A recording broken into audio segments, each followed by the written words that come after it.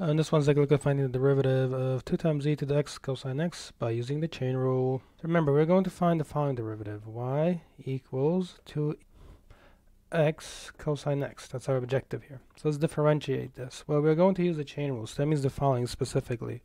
I'm going to write y prime equals. So what you do first is you copy the expression as given in exactly the same form without changing anything. So that's 2e to the x cosine x now the fundamental difference is then you have to also multiply by the derivative of the expression in the exponent.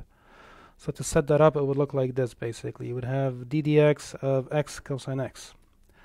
Let's continue. So again, you have 2e x cosine x, the original expression being multiplied by the derivative of the expression in the exponent.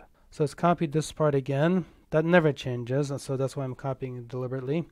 We just have to multiply by the derivative of x cosine x. So x cosine x is a product of two separate functions. For that reason, you can do that by applying the product rule. So when you do that, it's going to look like the following. The derivative of x by itself is just 1, and then you copy the cosine x.